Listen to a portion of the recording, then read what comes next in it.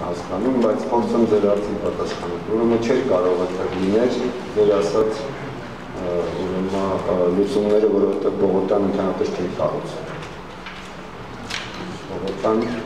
պետք է հասկանանք, որ կառուցվել է մասնավոր ներդրումների հաշվին եւ ինքը ունի տնտեսական բաղադրիչներ, այսինքն հարկայնությունը բացառապես պայմանավորված է տարածքների իրացումով այդտեղ ապրող մարդկանց փոխհատուցումը, այդ միջոցների հաշվին են մարդիկ փոխհատուցում։ Եվ այդպեսի մի քանի ցածրահարկ շենքերով կառուցվել դժվար է պատկերացնում։ Ասեմ ձեզ նաև, որը որ ձեզ երևի ոչ ոք չի ասել, Հյուսային Պողոտայի խորհրդային ժամանակվա նախագծերը, որը իբե պրինցես հանգարանում կա եւ շուտով դրա վերաբերյալ ցուցահանդես է կլինի։ Իրենք նախատեսում էին ընդհանրապես բարձրակ շենքեր, 60-ական թվականների 70-ական թվականների նախատեսել։ Այնտեղ նախատեսում էր գետային բարձրակ շենքեր։ 12-14 հարկա։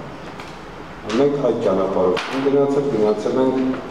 paragեցային կառուցապատման եւ ճանապարհ։ Հիմա մարդիկ ապրում են թե չէ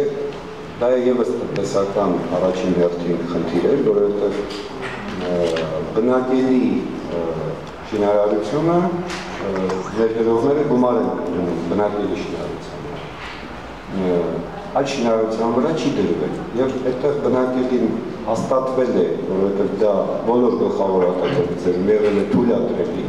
որտեղ լինի բնակելի կառուցապատում։ Մասնագիտական բոլոր խորհուրդներով եղել է թույլատրելի, իսկ